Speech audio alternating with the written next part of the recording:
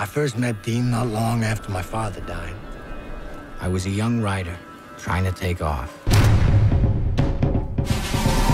Dean just raced in society. He had just married a 16-year-old chick named Marylou.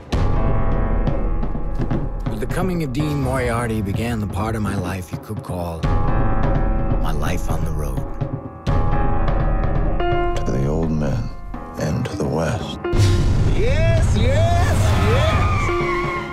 Yes! Bless me, Father, for I will sin. Where do you find such absolutely wonderful people?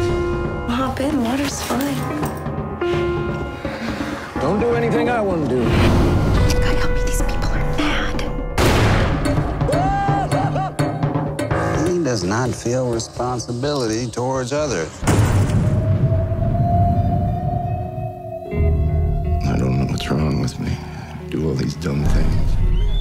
And I think in all these distorted ways. You know, I'm burning up. You're sick of me, and you're sick of work. Scared I'm gonna lose all the wisdom I ever learned, so.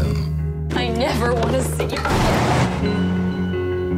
The end of the world will start here in Texas.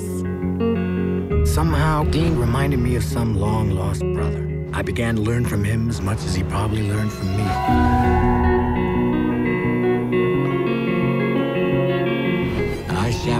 As usual, as I have done my whole life after the people that interested me.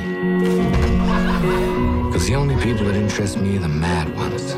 Raise our glasses to living and to life. The ones who are mad to live, mad to talk, desirous of everything at the same time, the ones that never yawn or say a commonplace thing,